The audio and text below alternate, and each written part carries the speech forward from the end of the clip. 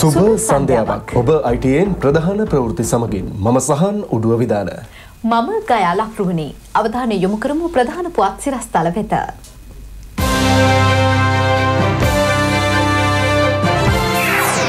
මෙවර ජනාධිපතිවරණයට අඩි දෙකයි අඟල් දෙකක් දිග චන්ද පත්‍රිකාවක්.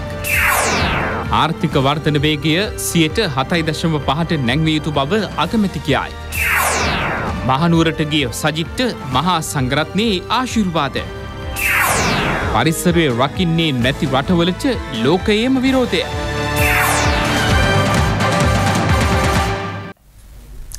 මහා පරිමාණ කෘෂි ආයෝජන මංයොක්කා වගා ව්‍යාපෘතියේ සමාරම්භය හා නව කර්මාත ශාලාවට මුල්ගල තැබීම ජනාධිපති මෛත්‍රීපාල සිරිසේන මැත්තුමාගේ ප්‍රධානත්වයෙන් අද ආරම්භ කෙරුණා.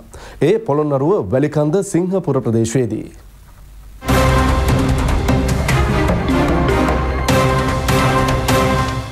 අමරිකා ඩොල මිලියන හතලේක රිජු විදේශ ආයෝජනින් ශ්‍රී ලංකාවේ පළමු මහා පරිමාණ හරිත ආයෝජන ව්‍යාපෘති වන ග්‍රාමිය මංයොක්කා නිෂ්පාදන විදේශ වෙළඳපොලට හඳුන්වා දෙන නව ව්‍යාපෘතියේ සමාරම්භය ජනාධිපතිතුමාගේ ප්‍රධානත්වයෙන් සිදු කෙරුණා. නව කර්මාන්ත ශාලාවට මුල්ගල තැබීම සිදු කෙරුණේද ජනාධිපතිතුමන් අතින්. පොළොන්නරුව වැලිකන්ද සිංගපුර ප්‍රදේශයේ ආරම්භ වූ මෙම ව්‍යාපෘතිය ග්‍රාම ශක්ති ජනතා ව්‍යාපාරය යටතේ ස්ටාච් ඉන්ද්‍රස්ට්‍රීස් පුද්ගලික සමාගම හා ඒකාබද්ධව සාම්ප්‍රදායික කෘෂි නිමවුන් නැවුම් මූුණුවරකින් විදේශ වෙළඳපොලට හඳුන්වාදීමේ අරමුණින් මෙම ව්‍යාපෘතිය ක්‍රියාවට නංවා තිබෙනවා. අක්කර තිස් අදහස් පන්සේක මංයොක්කා වගාවක් රටපුරා විසිර සිටින ගොවින් විසි හද්දහසකගේ අස්වැන්නට මේ අනුව වෙළඳ පොලක් හිමිවනු ඇති. නවීන තාක්ෂණික යන්ත්‍රෝපකරනවලින් යුත් නිෂ්පාදනාකාරයක් මෙමකින් රටට හිමිවන අතර මෙම ව්‍යාපෘතිය විදේශ විනිමේ රටට ගලා එන නව අපනයන මූලාශ්‍රයක්ද වනවා.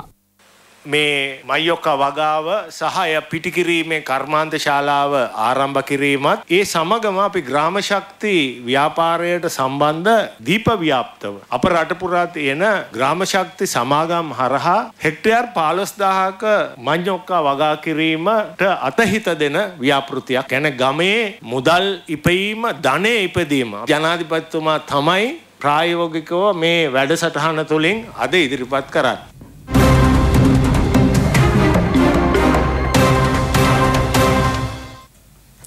විශ්‍රාම වැටුප් ක්‍රමය නවීකරණය කිරීම සඳහා රටේ ආර්ථික වර්ධන වේගය සේට හතයි දශම පහදක්වා ඉහළ නැග්විය යුතු බව අග්‍රමාත්‍ය රනිල් වික්‍රමසිංහ මහතා පවසනවා. ජාතික විශ්‍රාමික දින සැමරුම් උළෙලට එක්වෙමින් අග්‍රමාත්‍යවරයා සඳහන් කළේ පෞද්ගලික ව්‍යවසායකයින් ශක්තිමත් කිරීම සඳහා ඉදිරියේදී රුපියල් බිලියන පන්සයක මුදලක් ලබා දෙන බවයි. ජාතික විශ්‍රාම දින සමරුම් උලෙල නෙළුම් පොකුණ රංගහලේදී පැවැත්වුණේ අග්‍රාමාත්‍යවරයාගේ ප්‍රධානත්වයෙන්. අමාත්‍ය රංජිත් මද්දුම් බණ්ඩාර ජනාධිපති ලේකම් උදේ ආර්සන විරත්න විශ්‍රාම වැටුප් දෙපාර්තමේන්තුවේ අධ්‍යක්ෂ ජනරාල් ජගත් පී ඩයසන මහතුරුන් මෙන්ම විශ්‍රාමිකින් රසක් මෙම අවස්ථාවට සහභාගී වුණා.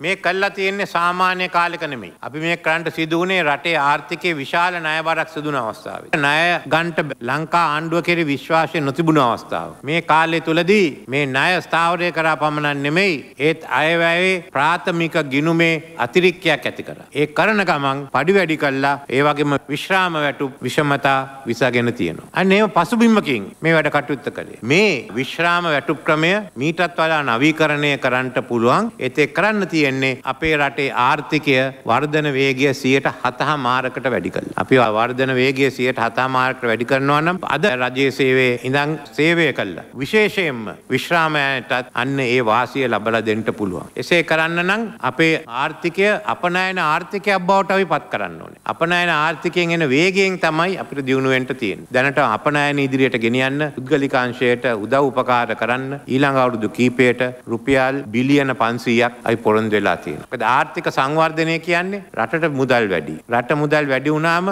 රජයේ මුදල් වැඩි වෙනවා. රජයේ මුදල් වැඩි වුණාම මේ වැඩ කටයුතු සඳහා අපිට වැඩියෙන් මුදල් වෙන් කරන්නට පුළුවන්. ඒ නිසා මතක තියාගන්න රටේ ආර්ථිකයේ වර්ධන වේගය ඒ වගේම ඔබේ අනාගතයටත් බලපාන කාරණයක් කියලා. වසර නවයක කාලයක් සටන් කර ලබා ගැනීමට නොහැකි වූ විශ්‍රාම වැටුප් විෂමතාව ඉවත් කිරීමට වත්මන් රජයට හැකි වූ බවයි උත්සවයට එක්වෙමින් අමාත්‍ය රංජිත් මද්දුම් බණ්ඩාර මහතා ප්‍රකාශ කළේ. වත්මන් රජයේ බලයට පත්වෙනකොට අවුරුදු ගානක් විශ්‍රාමිකීන්ට තමන්ගේ විශ්‍රාම වැටු විෂමතාවය අයින් කරගන්න අවුරුදු නමයක් සටන් කරන්න සිද්ධ. අපි දෙදස් පහළම අවුරුද්දෙත් මේ අවුරුද්දෙත් ඒ විශ්‍රාමිකයින්ගේ දෙදස් හයේ ඇතිවෙච්ච විශ්‍රාම වැටු පිෂමතාවයක් දෙදස් පහළවේ ඇතිවෙච්ච විශ්‍රාම වැටු පිෂමතාවයක් මේ ආණ්ඩු කාලය තුළ අපිට තමුන්නාසට ඒක විසඳලා දෙන්න පුළුවන්කම ලැබුණා. සියයට හතලිස් සතරක විශ්‍රාම වැටු පැඩවීමක් කරන්න අපේ ආණ්ඩුවට ශක්තිය ලැබුණ. උදාහරණයක් විදියට කම්කරුවෙක් දාසේදස් දෙසිය තියක විශ්‍රාම වැටුපක් ලැබුවනම් දෙදස් විශ්ස වෙනකට අපේ ආණ්ඩුව යටතේ විසි හතරදස් පන්සිය දොළහක් වෙනකං වැඩි වෙලති. පොලිසිේ රාලහම කෙනෙක් දාසේදා සටසේ අනු හතක විශ්‍රාමයට පල් ලැබුවනං ඒක විසියට දස් දෙසිය හැටතුනක් වෙලා තියෙන. විශේෂඥ වෛද්‍යවරයෙක් තිස්තුන්දා සත්සියක විශ්‍රාමයට පක් ලැබුවනං එක හැත්ත හතරදා සත්සියක් වෙලා තිය. මේ වගේ විශ්‍රාමිකයට දෙපයින් නැකිටලා වැඩ කරන්න ජීවත්වෙන්න පුළුවන් ශක්තියක් අපේ රජයේ දීල තියෙන.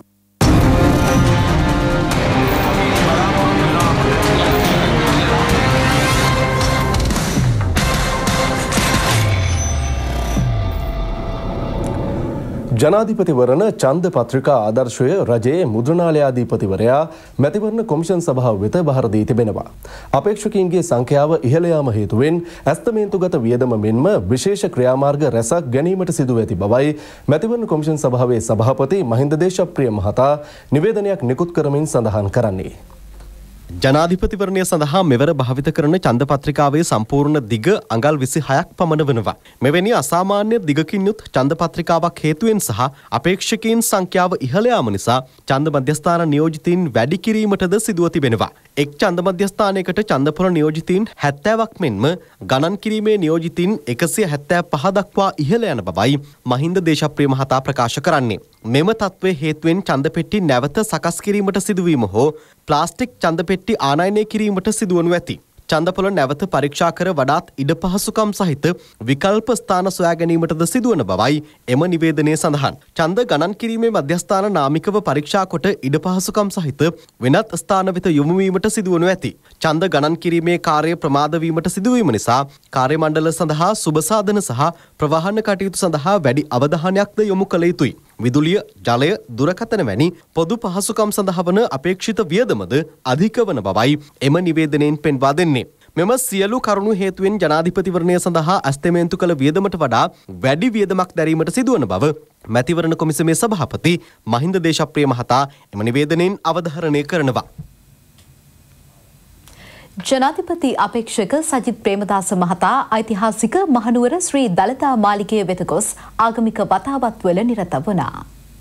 දළදා මාලිගයට පැමිණි සජිත් ප්‍රේමදාස මහතා පිළිගත්තේ දියවඩන නිලමේ ප්‍රදීප් නිලංග දෑල මහතායි.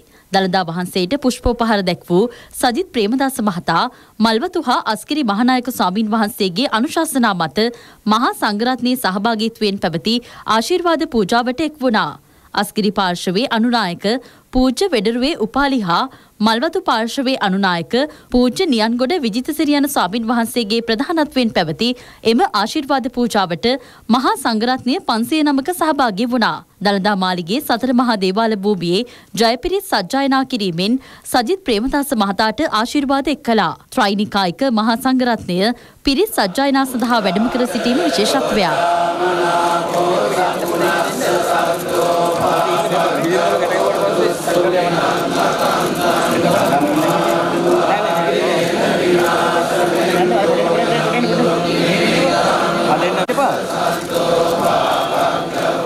පියාමෙන් රාජ්‍ය පරිපාලනයට බුදුදහම එක්කර ගැනීමේ වැදගත්කම අනුශාසනා කළේ අස්කිරි පාර්ශවයේ අනුනායක පූජ්‍ය වෙඩරුවේ උපාලි ස්වාමින් වහන්සේ. සියම් අමරපුර රාමාන්‍යතුන් නිකායම මේ වටිනා අවස්ථාවට මහා සංඝරත්නය වැඩම කර සිටිනවා. අපි ජයකිරීතෙන් ඔබතුමාට සෙත් ප්‍රාර්ථනා කරනවා ඒ අනුව රාජා භවතු ධම්මිකෝ මේ රටේ ජනතාවගේ එකම ප්‍රාර්ථනාව ඒකයි. රාජ්‍ය නායකත්වයේ අපේක්ෂා කරන්න උතුම් දළදා වහන්සේ වැඩ පුදාගෙන මේ කටයුත්ත ආරම්භ කළ යුතුමයි. ඔබ මේ දළදා වහන්සේගේ බාරකාරත්වයේ බාරගෙන මේ රට ධාර්මිකව ගෙන යා යුතුයි කියන එකයි. ඔබතුමාගේ පියතුමා අවුරුද්දට වරක් සුවිශේෂ උත්සවයක් පැවැත්වුවා. ජනතාව බලාපොරොත්තු වුණා. ඒ තමයි ගංගුදාව.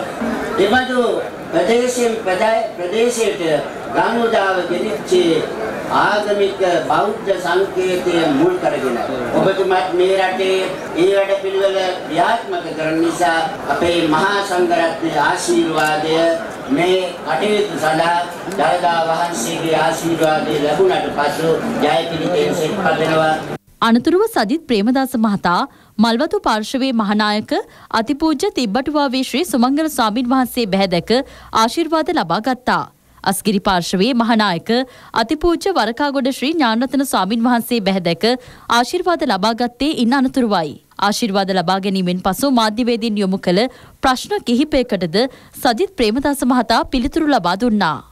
ඉතාමත්ම ධර්මිෂ්ට නිහතමානී මනුෂ්‍යත්වය රජ කරවන සොඳුරු මාතෘභූමියක් සංවර්ධිත මාතෘභූමියක් නව තාක්ෂණය තුළින් පිවිදෙන මහා මාතෘභූමියක් නිර්මාණය කරනවා කියන එක ප්‍රකාශ කරන කැමති. ඔබතුමා විශේෂයෙන් ආරාධනාව කරා එක්සත් ජාතිපක්ෂයේ හැරගිය කණ්ඩායම් වලට ඒ වගේ වෙනත් පක්ෂවල කලකිරින්න කණ්ඩායම් වලට ඔබතුමා සමග සහායට එන්න කියලා. ඒවට ප්‍රතිචාර තියෙනවා. බොහොම ඉහළින් තිබෙනවා.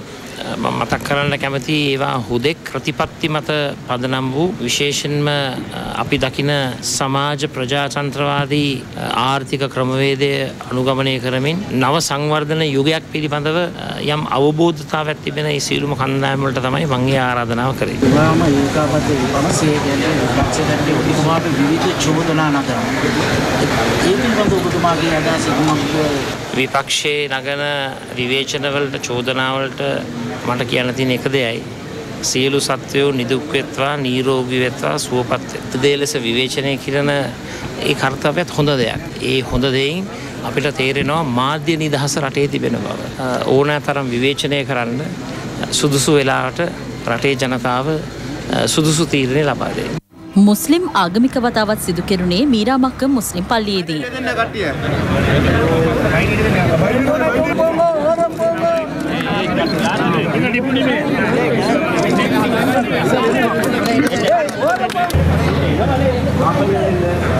පසුව සජිත් ප්‍රේමදාස මහතා මහනුවර රදගුරු ආචාර්ය වියන් ප්‍රනාන්දු මහතා කටුගස්සුටදී හමු වී ආශිර්වාද ලබාගත් අතර දෙදෙනා අතර සාකච්ඡාවක්ද පැවැත්වුණා. පසුව හින්දු ආගමික වතාවත් සඳහා කටුකැලේ ශ්‍රී සෙල්වනායගම් කෝවිලට පැමිණි සජිත් ප්‍රේමදාස මහතා ආගමික වතාවත්වල නිරත වුණා.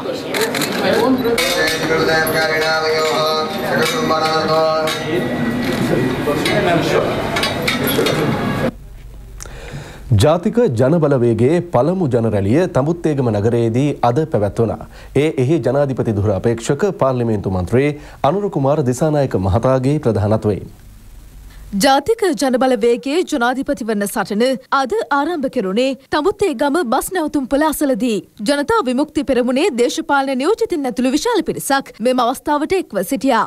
මෙරටේ ජනතාවට අලුත් බලාපොරොත්තුවක් දැන් ගෙනල්ලා තියෙන්නේ. හෙට අනිද්දා වෙනකොට අලුත් බලාපොරොත්තු සහිත අපේක්ෂකයින්ගේ සහයෝගය සහිත ජනාධිපතිවරණ වේදිකාවේ ශක්තිමත්ව ඉස්සරහට යන්න පෙළ ගැහෙමින් ඉන්නේ. රට හදන වැඩපිළිවෙල දැන් සකස් කරමින් තිබෙනවා. මෙරටේ උගතුන් බුද්ධිමතුන් කලාකරුවන් වියතුන් සාහිත්‍යවේදීන් ක්‍රීඩකයින් ව්‍යාපාරිකයින් සියලු දෙනා එකතු වෙමින් තියෙනවා. අද තමුත්තේකම නගරයට එකතු වුණා වගේ රට පුරා සියලු දෙනා එකතු වෙමින් තියෙනවා. ඒ දෙදස් විස්ස ජනාධිපතිවරණයට තෝරා ගැනීමට වෙන විකල්ප නැහැ. ඉන්න එකයි ඒකම විකල්පය.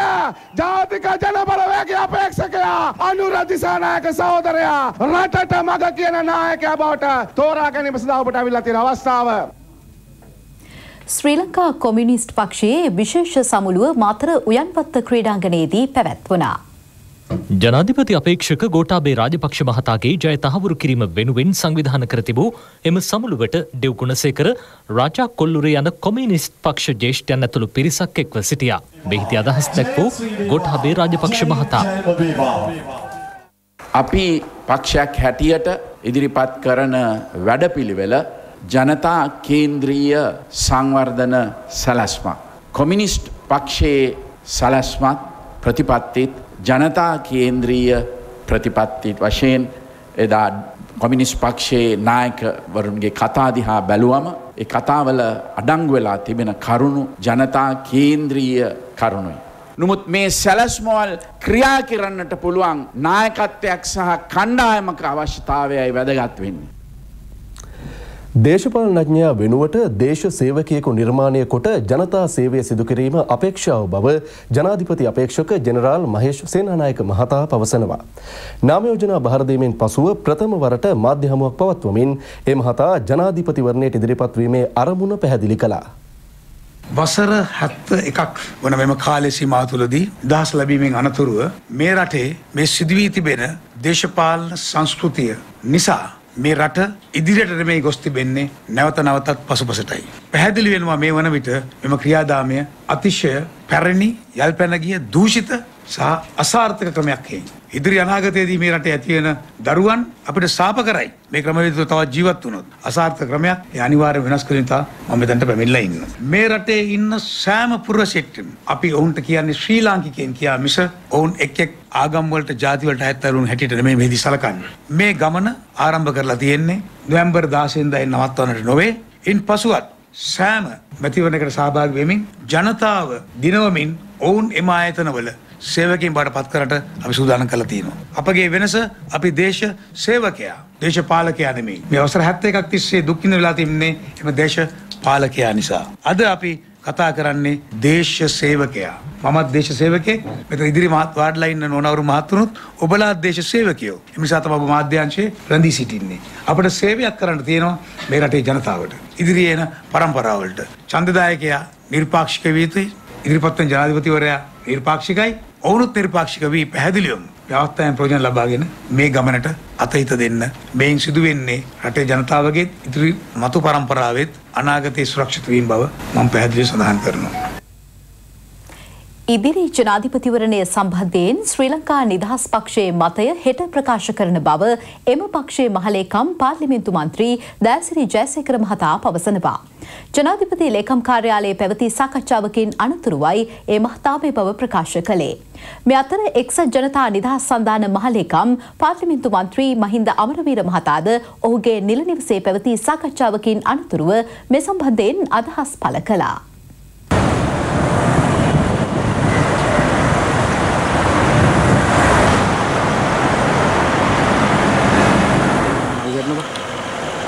හරිස ආසර දෙනවා මොකද ශ්‍රී ලංකන් දස් පක්ෂ තාමත් පසු බෑලද මොකද දැන් තයින්ද කිසිම පසුබෑමක් නෑ ජාතික බලවේග ගත්ත මාර්ගයත් සමඟ අපි එකට එකතු වෙලා වැඩ කරනවා ඒ ක්‍රියාදාමය පිළිබඳව අපි හෙට බලාපොරොත්තු වෙනවා විශේෂ ප්‍රවෘත්ති සාකච්ඡාවක් කරලා රටටම කරුණු කියන්න අවශ්‍ය කරන කටයුතු ටික කරලා තියෙනවා. රටට හොඳ පණිවිඩයක් අපි කියනවා. ඒකත් මේ මාධ්‍යම කැන්සල් වෙයිද? නෑ කිසි ගැටලුවක් නෑ. ඒ අපි නෙමෙයි මේ මාධ්‍යම තියෙනවා කියලා කිව්වේ. ඔයාලට කියපු නම් අහන්න.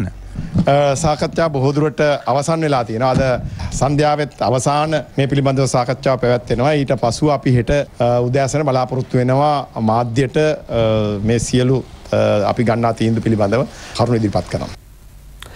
ජාතිවාදය ජනතාව මත පටවමින් මැතිවරණ ව්‍යාපාරය සඳහා රාජපක්ෂවරුන් යළිත් කටයුතු කරමින් සිටින බව පාර්ලිමේන්තු මන්ත්‍රී තුෂාර ඉඳුනිල් මහතා පවසනවා. ජනාධිපති අපේක්ෂක අමාත්‍ය සජිත් ප්‍රේමදාස මහතාගේ මැතිවරණ මෙහෙයුම් කාර්යාලයේ පැවති මාධ්‍ය හමුවකදී ඒ මහතා මෙම අදහස් පළ කළා. පාර්ලිමේන්තු මන්ත්‍රී මනූෂ නානායක්කාර මහතාද මෙහිදී අදහස් දැක්වුවා. දැන් මේගොල්ලන්ට කියන්න දෙයක් නැතුව රටේ තියෙන ලෝකේ තියෙන නරකම දේ. ජාතිවාදයේ ආගම්වාදයේ පතුරගෙන තමයි බෙල් එල්ලගෙන යන්නේ. පහුගිය පළාත් පාලන මැතිවරණයේදී ගම් වලට ගිහිල්ලා මොකද්ද කිව්වේ? මහින්ද රාජපක්ෂ මහත්තයා අගමැති කරන්න ගමේ ඉන්න මංකොල්ලකාරයන්ට, කසිප්පුකාරයන්ට, කුඩුකාරයන්ට ඒ කොට්ටාසය අයට ඡන්දෙ දෙන්න කිව්වා. දැන් ඉෂ්ට වුණාද? නංගි පෙන්නලා අක්ක දුන්නා වගේ වැඩක් නෙමෙයිද සිද්ධ වුනේ? දැන් මේ හදන්නේ රට බේර ගන්න නම් ගෝඨාභයට ඡන්ද දෙන්න. ජාතිය බේර ගන්න නම් ගෝඨාභයට ඡන්ද දෙන්න. ඒ වගේම සුරයක් තමයි දැන් ආපහු ජනතාවේ කරට එල්ලන්න හදන්නේ. මතක තියාගන්න ගෝඨාභය රාජපක්ෂ මහත්තයලා මේ රටට ආදරය කරේ නැහැ. මහින්ද රාජපක්ෂලා මේ රටට ආදරය කළේ නැහැ. හැමදාම ජාතිවාදයේ ආගම්වාදයේ ජනතාවට දිය කරලා පොවලා මේ රට මංකොල්ල කාපු එක විතරයි මහින්ද රාජපක්ෂලා ගෝඨාභය රාජපක්ෂලා මේක කළේ. මේක අමුතු විදිහේ හොරකම. මේක ඇඟට නොදැනී ගහන පික් පොකට් එකක් මේ. මේ පික් පොකට් කල්ලියට කරුණාකරලා අහුවෙන්න එපා කියන එක. මේ වෙනකොට රට වටේම හැම තැනකම එතුමා වෙනුවෙන් විවිධ කණ්ඩායම් විවිධ පුද්ගලයින් මෙතනදී අපි විශේෂයෙන්ම කියන්න ඕනේ. ජාතිවේද ආගම්භේද කුලභේද උස්මිටිකම්භේද කිසිම ભેදයක් නැතුව මහා විශාල ජනකඳක් දවසින් දවස එකතු වෙනවයි කියන කාරණාව අපි පැහැදිලි කරන්න ඕනේ. ප්‍රජාතන්ත්‍රවාදී නායකයෙකු බිහි කර ගැනීමේ අවශ්‍යතාවයට අද රටේ හැම තැනම එකතු වෙලා ඉන්නවා. ඒ වගේම අද සියලු දෙනාට උණ ගැනිලා තියෙන්නේ 10 වෙනිදාට කොළඹට එන සෙනග පිළිබඳ දැනෙන ආරංචියට. 10 වෙනිදා ගෝල් ෆේස් පිටියෙන් අපි ආරම්භ කරන රැලිය එතනින් පස්සේ රට වටේ ප්‍රාදේශීය රැලි 150ක් සමගින් අපි දැවැන්ත මැතිවරණ ව්‍යාපාරයක් සූදානම් කරලා තිනවා. ඒ සියල්ලට ජනතාව ඉතාමත්ම ඌමනාවෙන් උනන්දුවෙන් ගම්මට්ටමින් එකතු වෙමින් පවතිනවා කියන කාරණාවත් අපි මේ වෙලාවේ සඳහන් කරනවා.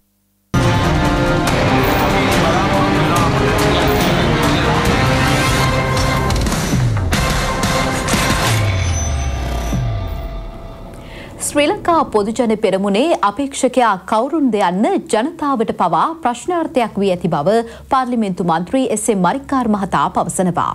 කොළඹදී අද පැවති මාධ්‍ය හමුවකට එක්වෙමින් ඒ මහතා මේ බව කියා සිටියා. මෙම මාධ්‍ය හමුවට අමාත්‍ය රංජිත් මදුබ බණ්ඩාර මහතාද එක්ව සිටියා.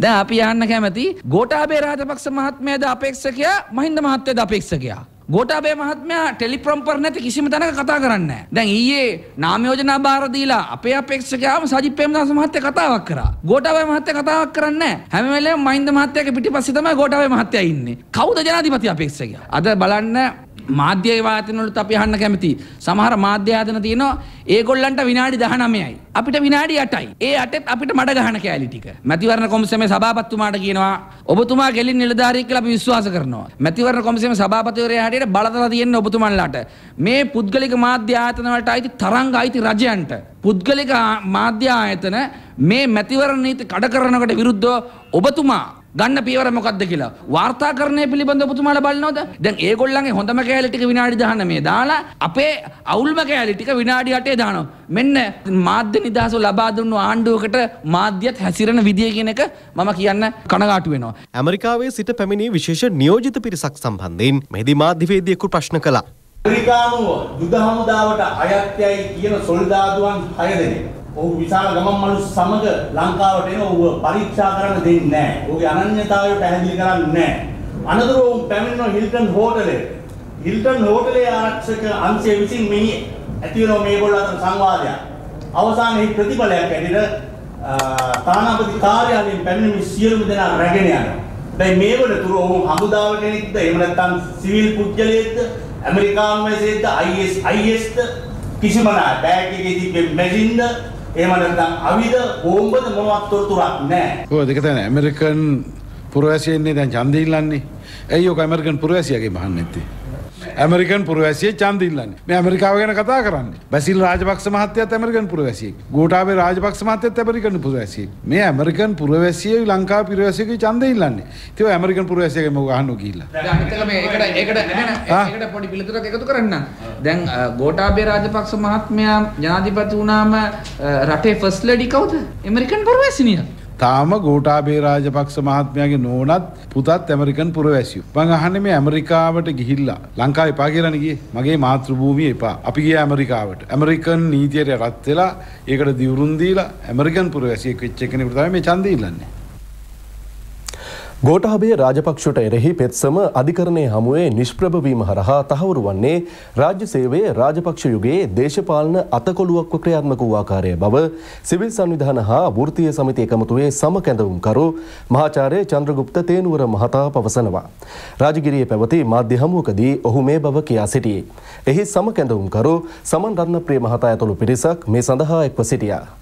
ජනාධිපතිවරණයට ඉදිරිපත් වෙන කෙනෙකුට දිත්ත පුරවැසි භාවයක් තියෙන්න බැහැ. ඔහු ශ්‍රී ලාංකික පුරවැසියෙක් කිය යුතුයි. අපි දන්නවා ඔහු ලංකාවේ උපන් අයෙක් බව. අපි දන්නවා ඔහු යුද්ධය තියෙන කාලේ ලංකාවෙන් පැනලා ගිය කෙනෙක් බව. ඔහු ඇවිත්ලා තියෙන්නේ 2005 දී සංචාරක වීසයි. මේකෙන් පත් වුණා ශ්‍රී ලංකාව ලෝකයේ එකම රට බවට සංචාරක වීසාවකින් පැමිණ දේශපාලනය කිරීමේ එකම රට. දැන් මේකට උත්තරයක් අවශ්‍යයි. දේශපාලනය කිරීමට අයිතියක් නැහැ. එතකොට ඔවුන් ඔත්තුකරුවන් හැටියට තමයි සලකන්නේ. ඔවුන් පිටු පිටුහල් කිරීම බොහෝවිට රාජ්‍යන් විසින් කරන ලබනවා.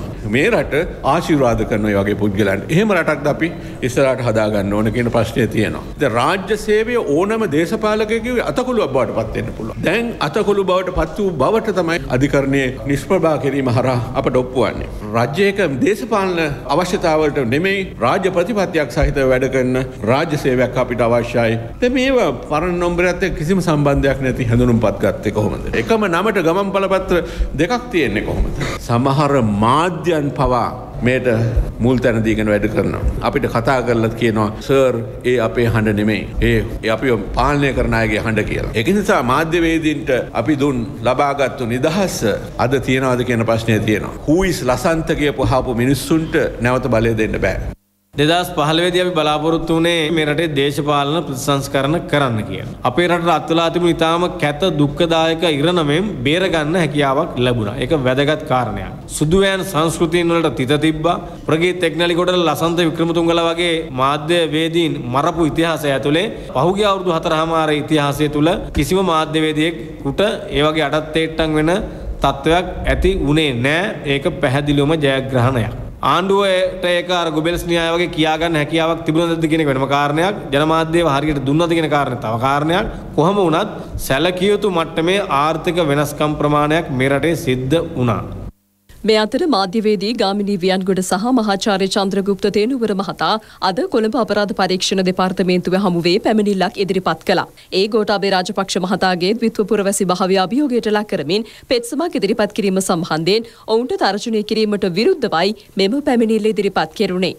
දුරකථන ඇමතුමක් ආව ඒක විදේශයකින් ආවේ. එදා රෑම මට තර්ජනය කළා. අනිත් ඒවා රට ඇතුලේ දුරකථන ඇමතුම් වලින් තර්ජන ආවේ නැහැ. සමාජ මාධ්‍ය ජාලයේ දිනපතාම අද පවා මේ වගේ තර්ජන තියෙනවා. ඉතින් මේක ඊටාම බරපතල තත්ත්වයක්. තත්ත්වය මෝරන්න පටන් ගත්තොත් අපිට සිද්ධ වෙනවා එහෙම ආරක්ෂාවක් ඉල්ලන්නට. මං හිතන්නේ මහින්ද රාජපක්ෂ සහ ගෝඨාභය රාජපක්ෂ මහත්මයාගේ කඳවුරු නියෝජනය කරන මිනිසුන්ට මේ නීත්‍යානුකූල භාවය කියන එක මොකක්ද කියලා දන්නේ නැහැ ඒගොල්ලෝ. මොකද ඒගොල්ල පුරුදු වෙලා තියෙන්නෙම නීති විරෝධීව කටයුතු කිරීමටයි. අධිකරණය දීපු තීන්දුව අපි පිළිගන්නවා. මේ විදියට හැසිරෙනකොට අපිට පෙන්නුම් කරන්නේ මේ මිනිස්සු අනාගතයේදී බලයට පත් වුණොත් කොයි විදියට ඉඳීද කියලා. ඒ කියන්නේ ඔවුන් කිසි දවසක අධිකරණයක පිහිටක් පතන එකක් නෑ. ඔවුන් පිහිට පතන්නේ සුදු වෑන් එකක් වගේ දෙයක තමයි පිහිට පතන්නේ. මම කියන්නේ රාජපක්ෂ සංස්කෘතිය කියන්නේ ඔන්න ඕකයි. අපේ දේශපාලන අරගලය ගෙනියනවා 2015 ඇති කරගත ප්‍රජාතන්ත්‍රවාදී සංස්කෘතිය තවදුරටත් ආරක්ෂා කරගන්නට. හැටන් ප්‍රදේශයේදී පාසල් ළමුන් ප්‍රවාහන බස් රථයක් ප්‍රපාතයකට පෙරලීමෙන් සිසු සිසුවියන් විසි අට දෙනෙකු ඇතුළු තිස් දෙදෙනෙකු තුවාල ලැබවා.